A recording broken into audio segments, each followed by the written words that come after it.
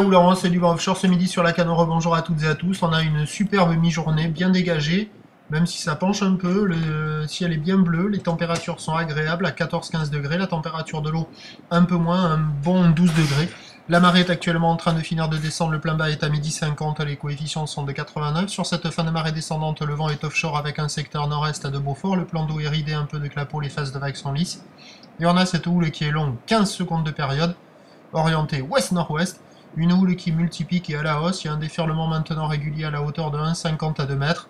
Et les séries qui rentrent toutes les 5 à 7 minutes sont à la hauteur de 2 mètres 30.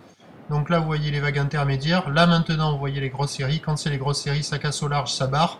Après, ça arrive au bord, ça barre. Quand ce sont les vagues intermédiaires, ça arrive à passer un peu. Mais vraiment, c'est pas calé aujourd'hui. Ça m'étonnerait que cela surfe. Que l'on surfe aujourd'hui à la canon.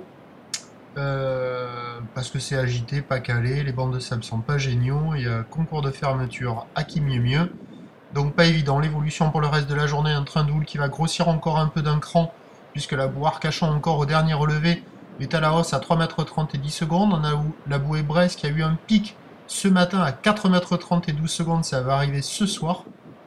Donc euh, ça va rester costaud, même un peu plus gros, avec du vent qui va rester offshore à surveiller les spots de repli. Ça semble être sans doute la meilleure option. À 13h, 2m30, houle.